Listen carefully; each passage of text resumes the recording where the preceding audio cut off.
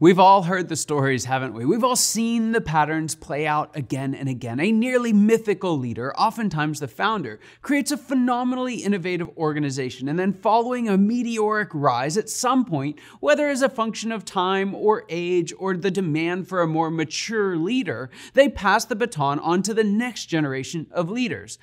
But when they do, a shift happens. And at first, the organization becomes more successful. There are better processes, efficiencies, and strategic planning that drive profitability and predictability through the roof.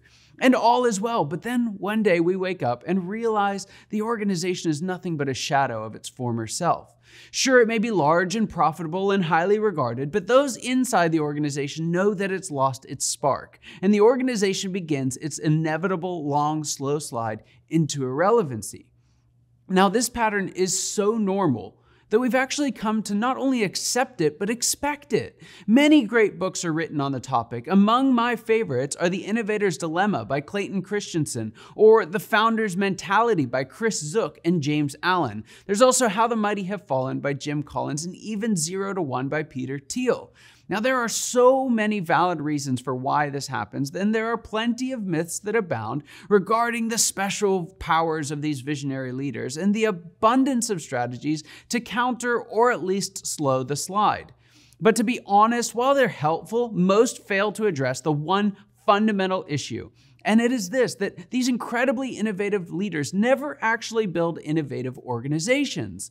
So when they leave, which all must do eventually, they leave behind an organization that is known for and takes great confidence in their identity as a great innovator, but is little more than a museum trying to preserve the vision of their founder from a time long ago. Ironically, the more you attempt to preserve the innovation of the past, the more you sacrifice the innovation of the future. And the direct result is a premature death and decline of a once great organization. Okay, so what do you do? How do you truly build an innovative organization? One that has the capacity not only to outlive you, but to out innovate you as well. How do you cultivate the next generation of talent and leadership to not only carry your vision forward, but to build it bigger than you could have ever imagined? Does it sound too good to be true or pie in the sky? Well, it isn't. In fact, it's precisely what you must do to build an organization that can thrive and enjoy predictable success for decades and even centuries to come instead of months and years after your departure. And personally, I believe it's the truest measure of a great innovator. Many can be innovative, but the best don't stop there. They build truly innovative organizations.